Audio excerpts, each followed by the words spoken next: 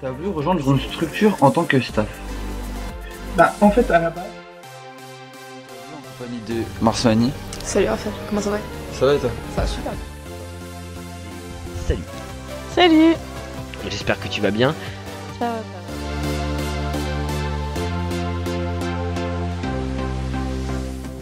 Salut à tous, c'est Raph pour une nouvelle interview pour ITRG.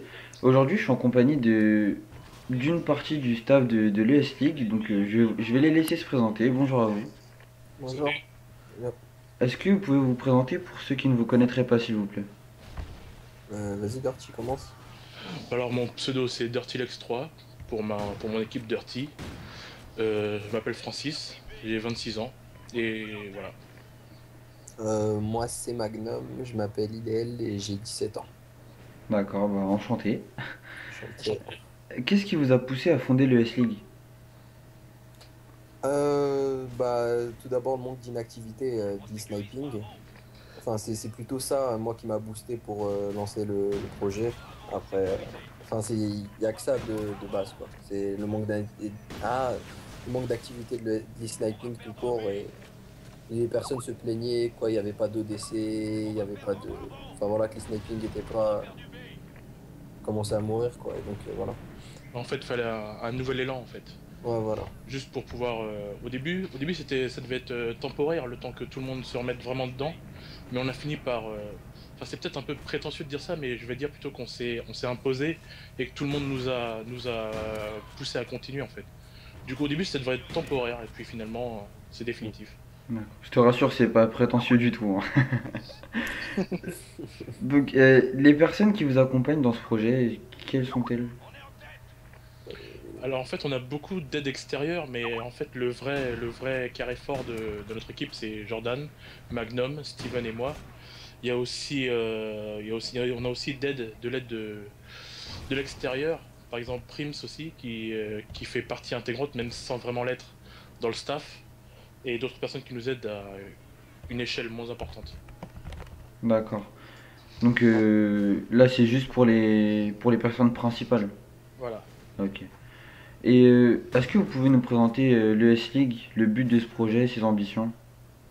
Euh, un, on est un- maintenant officiellement aujourd'hui, on est un championnat officiel de l'e-sniping. Euh, quand je dis championnat, c'est pas on prévoit des ODC, on fait des ODC par semaine. Pourquoi pas? Mais quand je veux dire championnat, c'est- un championnat e-sniping qui dure un mois. Week-end, euh, passe des points euh, tout au long du mois et à la fin du mois, on voit c'est qui le, le meilleur, euh, enfin celui qui a ramassé le plus de points et on va dire un peu il s'impose. euh, s'impose aussi euh, dans les sniping quoi. D'accord. Et Voilà, euh, c'est plutôt pour établir un pour Ouais, vraiment pour pour- établir un classement pour euh, pour se situer à peu près pour que chaque équipe voit par rapport aux autres équipes où elle se situe meilleure que telle équipe ou plus faible que telle équipe et qu'à la fin ça se décante et on voit à peu près Puis c'est chaque mois les matchs sont le week-end et euh, c'est un peu comme, euh, comme une Ligue 1 quoi au football euh, pour ceux qui connaissent. Donc euh, voilà. ouais, c'est le même principe. d'accord. Et les ambitions du, du projet? Alors on avait on a une nouvelle ambition maintenant. Franchement on n'y croyait vraiment pas euh, il y a il y a peu de temps. Maintenant là, notre nouvelle ambition c'est le SWC, amener les sniping en SWC. Il y a des choses qui se font euh, mais dont on peut pas parler maintenant, mais c'est notre ambition. Ah c'est vraiment le but, là, ce serait la consécration, ce serait vraiment de faire arriver les sniping en USWC, avoir une vraie compétition, ne pas être dans l'ombre à chaque fois du Deserto, etc. D'accord. Bah, le fait de l'ombre du Desserto, etc., ça va me permettre de rebondir sur une question juste après. Mais avant, est-ce que vous pouvez nous décrire euh, le projet de LAN, s'il vous plaît? Alors la LAN, pour l'instant, c'est vraiment pour, euh, pour, se, pour se rendre compte des vraies conditions, sans que rien, sans que rien n'influe sur, euh, sur la compétition. C'est pas de connexion, pas de que ce soit telle ou telle personne qui soit l'autre ou que ça pose des problèmes. Là, on voit concrètement quelle équipe gère le stress, quelle équipe gère sans ait, sans que la connexion les avantage. On voit vraiment dans les vraies conditions quelle équipe mérite leur victoire, etc. Et c'est euh, c'est vraiment le meilleur moyen pour les équipes de confirmer ce qu'elles ont prouver ou non en ligne Et c'est c'est l'aboutissement de, des- de l'entraînement, même online ou autre. Et c'est là qu'on voit vraiment, qu'on détermine vraiment les, les capacités de chacun. Et c'est là qu'ils ont la possibilité de- d'avoir des meilleurs prix que les ODC ou les championnats online. D'accord. Et euh, donc justement, vous, vous avez dit plutôt que vous pensez que le Desserto fait de l'ombre à l'e-sniping, donc ça l'empêche de se développer correctement. Mais euh, est-ce que vous pouvez un peu, un peu plus développer ça? Nous expliquer un petit peu. Mais en fait, c'est là maintenant, ça va être un peu compliqué ce que je vais dire. Mais en fait, c'est oui et non. Parce qu'en fait, le, ouais, le Desserto, côté, ouais, ouais, non, ouais. Ouais, parce que le Desserto, en même temps, ça nous draine des joueurs. Parce qu'il y a des joueurs qui vont en Desserto plutôt que jouer en sniping. Mais toute bonne publicité pour l'e-sport est bonne en France. Parce qu'on Ouais. on voit clairement des, des reportages affligeants sur l'e-sport, les geeks, etc. Et il faut vraiment changer tout ça. Donc, même si le Desserto nous fait un peu de mal, c'est toujours meilleur pour l'e-sport en France. Et globalement, globalement, ce que fait le Desserto, c'est déjà très gros. Ça passe à la télévision, c'est vraiment quelque chose qui, qui touche beaucoup de monde. Et c'est peut-être grâce à eux qu'on peut ensuite amener des nouveaux gens en e-sniping via le Desserto, qui montre que l'e-sport c'est quelque chose de, de bien. Bah d'un côté aussi, hein, les euh, ceux qui font du desserto actuellement, enfin voilà, qu'on leur dit sniping, ils rigolent quoi, et ils font même échanger ça aussi d'un autre côté. Voilà, c'est ça. Et voilà quoi, parce que on va pas se mentir entre nous, il y a un peu de tension, voilà, DE, e-sniping, de compétition, mais bon, comme on dit, c'est la communauté française, voilà, il y aura toujours des merdes quoi. Et...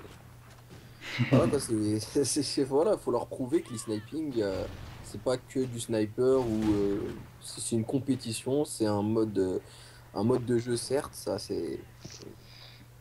Et ça à voilà. part, mais voilà quoi. Mais on on sait- on n'est pas forcément moins fort qu'eux. on- Mais Ouais. vraiment, ce- le, celui dont je suis fier, c'est vraiment Stars, qui a prouvé, qui a vraiment, vraiment prouvé à la Gamer Assembly, en éliminant le- l'équipe euh, Immunity, si je, si je me trompe pas, et qui est arrivé en finale contre Vitality. Il a bien montré que même en joueur de sniping, voilà jusqu'où il peut aller.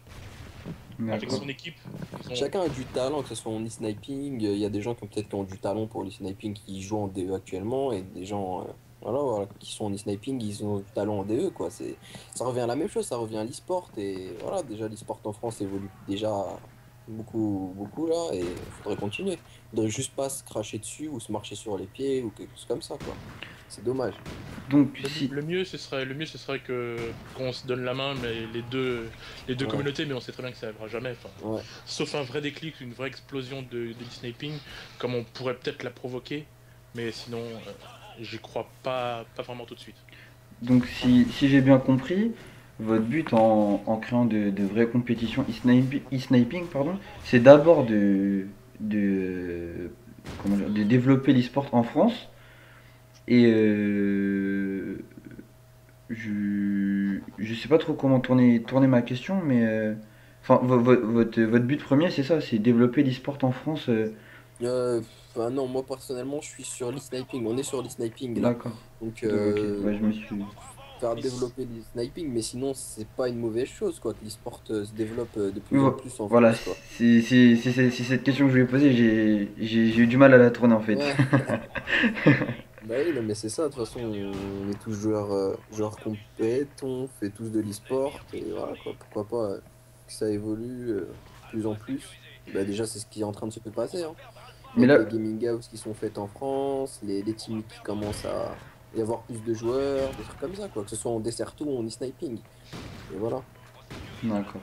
Et euh, tout à l'heure, euh, Magnum, c'est toi qui disais ça, que les, les joueurs des Certo euh, se moquaient entre guillemets de, des joueurs e-sniping, Ouais, c'est ça? Ouais, ouais, je, je le dis. Et en fait, dis. Votre but aussi, c'est de. c'est comme d'instaurer.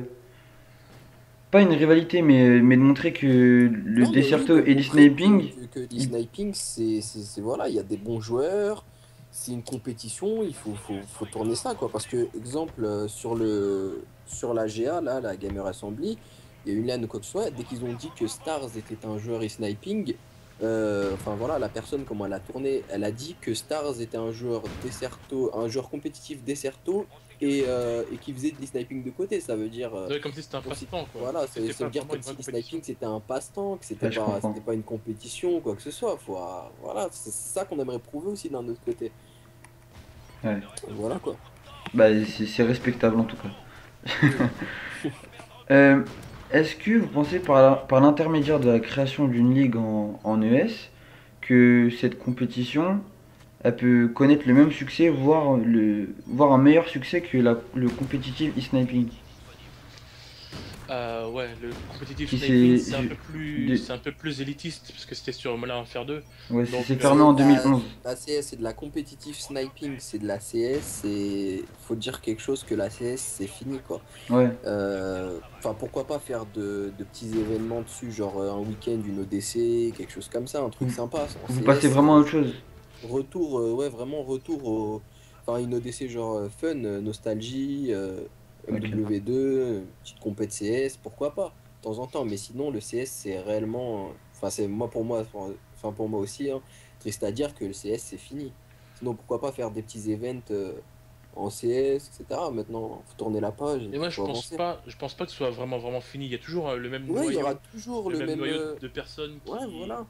Mais c'est moins ouvert que l'e-sniping. Le Voilà. competitive sniping, c'est plutôt quand tu arrives et que tu n'as jamais fait de competitive sniping, tu te fais forcément déchirer. Donc je vais le dire ça comme ça, je vais dire ça comme ça, mais c'est vraiment le cas parce que c'est toujours les mêmes. C'est presque l'élite, on va dire, de ceux qui, si même ils continuent d'y jouer, c'est que forcément ils sont, ils ont déjà l'expérience, ils ont déjà, ils ont déjà tout. Donc c'est très dur de s'y mettre maintenant. Alors que l'e-sniping, quelqu'un qui a jamais touché, il peut peut-être s'en sortir.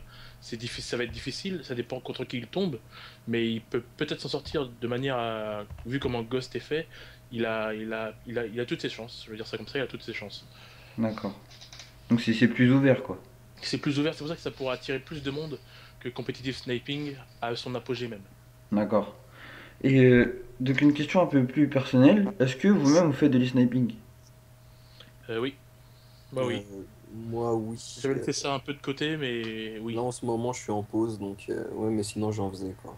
D'accord. Enfin, je, je Et suis joueur CS, moi, je suis ancien joueur CS, donc euh, d'accord. Mais on est quand même forcément un peu obligé d'en faire pour Ouais. se rendre compte de ce que veut la communauté et ce qui est bon pour elle. voilà. On peut pas, on peut pas, Pour ne se mettre à jamais leur toucher place à- aussi, on d'un peut pas ne jamais toucher à la manette Ouais. et après sortir des, des règles ou autre chose sans qu'on sans qu'on voit nous-mêmes ce que ça donne. Faut Oui. qu'on constate ce, que, ce qui est bon pour eux. D'accord. Et euh, quand vous quand vous jouez ou vous jouiez à l'e-sniping, vous aviez de grandes ambitions ou euh, c'était juste un passe-temps ou quelque chose pour se détendre? Moi, oui, j'avais de grandes ambitions, mais malheureusement, ça s'est arrêté à cause d'un petit truc qui m'est arrivé. Enfin, en privé, hein, ça reste privé. D'accord. Et donc, euh, j'ai fait une pause, on va dire, de deux ans. Et puis là, bon, je reviens hein, en tant que, en tant que staffy sniping, mais je joue de temps en temps, rarement, chez un ami à moi. Mais sinon, je compte revenir. Je compte réellement revenir. D'accord. Sinon, moi, je jouais avant pour le, pour le passe-temps. En fait, au début, je jouais qu'aux, armes simples, normales, mais ça ne m'intéressait plus. Et depuis que le sniping est sorti, j'ai commencé à ne jouer qu'avec ça, qu'avec ce mode. Du coup, j'étais tout le temps sur la shootbox, tout le temps à trouver des mix, tout le temps à trouver des matchs, etc. Donc j'ai formé une équipe, etc. Et puis finalement, au début, c'était juste pour m'amuser, et puis finalement, c'est devenu la compétition. Et ensuite, j'ai souhaité plus, euh, comment dire, m'investir dans cette compétition. D'accord. D'accord. Bah écoutez, moi, euh, c'était ma dernière question. Donc avant de vous laisser le, le mot de la fin, je voulais vous dire que moi j'ai j'ai passé un bon moment avec vous, que je C'est trouvais que vous, réciproque. Merci. que, merci. que je trouvais que vous étiez très sympathique et que bah, votre façon de penser sur euh, tout ce qui est dessert to spinning, etc., c'est c'est respectable. Euh, je vais remercier les partenaires, donc Invictus eSport et I Love My Console, et merci à Alexis qui, s'est- qui a, qui a rédigé les questions, et je vais vous laisser le mot de la fin. Si Yolan, D'accord. Voilà, non, voilà, bah, voilà, quoi. Toujours pour les sniping et merci à vous aussi euh, pour cette interview. Et merci à vous déjà bonne pour continuation et merci bonne à vous. chance. Merci. Merci aussi à tout le monde et puis voilà. D'accord. Écoutez, à très bientôt alors. Ciao. Au revoir. Ciao.